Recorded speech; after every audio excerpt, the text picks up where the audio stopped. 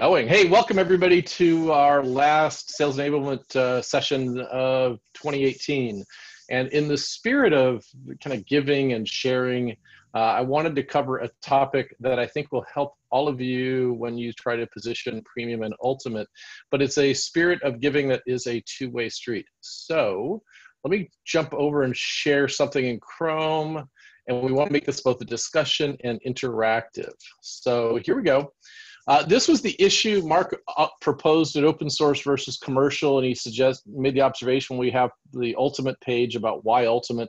Um, so what we've done and what I've done worked on this week is I created a why premium page, and I've also updated why ultimate uh, I got the little new as of this week. That's incorrect. Why premium is new as of this week. Uh, and I have an open MR for you to give feedback and for us to collaborate together. So let's just walk through this thing. And I need to update the pricing page to point to it. Today, the pricing page has a link to the why ultimate. Uh, why premium, I got to change this to add that link here in a few minutes. I'll probably do it right after this call. But let's take a look at why ultimate. Uh, we created this page about, oh, I don't know, four or five months ago uh, in response to the need or the interest in being able to have a leaf behind that gives someone a an overview of why why should they buy Ultimate? Why should they consider Ultimate? And this week I've spent some time looking at both both creating a new why premium page and iterating on why ultimate as well to add some graphics and images to it. And I want to direct you all to that and you can take a look and follow along. My ask of all of you is this is collaborative. We want to improve these pages so that way they can be used not only on the web, but as a leave behind that you could use when you meet with customers. Either you could email it to them as a PDF or you could have it printed out and leave it on their desk after you met with them face to face. That's the goal of this and what we're trying to get to. Okay, so why Ultimate? Starts off at the top level about what Ultimate is about and what how Ultimate helps focusing on portfolio management, security, and compliance. And then we, we showcase a couple of things. We were showing you know, roadmaps within the visual. Uh, we show uh, the different project portfolio management capabilities with Epics. And then we highlight the features that exist and we also highlight things that are coming. And this will be continuing to iterate with Victor as, as we get more input on portfolio management evolving, along with a simple value statement as to what's, what's included in that capability. Next, we follow with security as to the importance of that, showcasing the security dashboard, and then ex explaining the capabilities around static application security testing, DAST, dependency scanning, container scanning, and the security dashboard. Uh, all of this comes together to help people have security. We showcase future security metrics.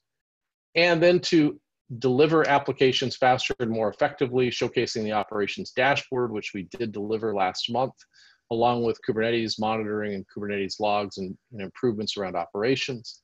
And then the last two bits at the bottom, one around license management, which we listed as a compliance capability, along with our future for SOC 2 compliance. And then guest users and chat ops show up as an other. Honestly, I'm of the opinion I'd like to clean this up and shorten it, but at this point we haven't, and I'd welcome your feedback on that as we go through this. Uh, included the note at the bottom that ultimately includes four hour business support and four business hour support and a technical account manager.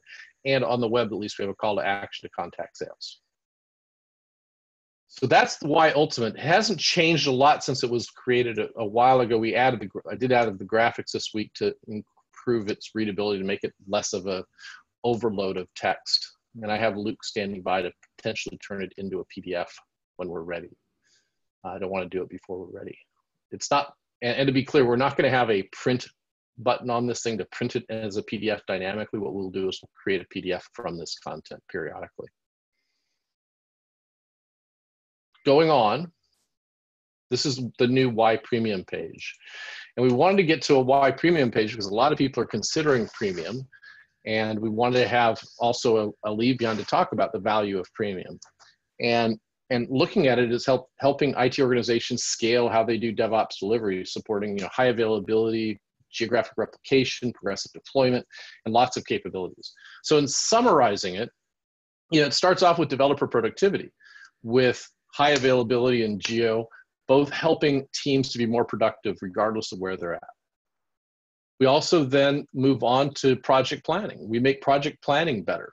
We have, you know, when you look at backlog management, because we can have Uh, multiple issue boards at the group level. We can start to scope and plan things at a group level more effectively with, with premium. it's not exactly a feature, but it's a capability that you can start to manage the backlog better because you can have issue, you can have assignees on the on the backlog on the issue boards, etc.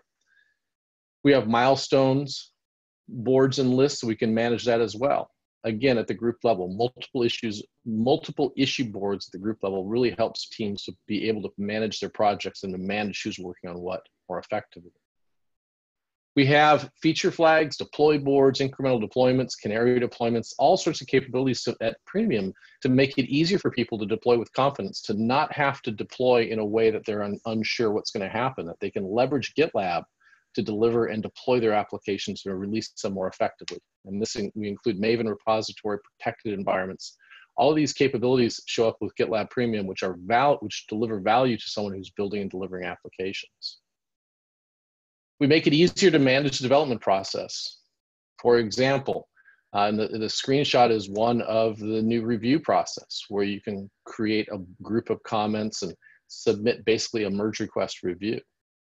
We have verified committers, signed commits, and group file templates, which also help teams to establish consistent practices. And then at the end, we also have the note about four hour business support, which is a differentiator, I think, for premium as well, along with contact sales to learn more about premium. I haven't created a page like this for starter, and to be perfectly honest, I don't think we should. I think we should stop at this point and encourage people to be looking at premium for ultimate. And I think these are pages for you to help sell and for you to help connect with people. And with that in mind, I'm going to point to the MR that's open and I will put the link to this. I'll put this link into Slack. I'll put it into chat as well. So that way you can get to it. But I welcome your input and I welcome your, your insight as to what's missing, what else we should add to it, what might be incorrectly stated or you don't feel comfortable with.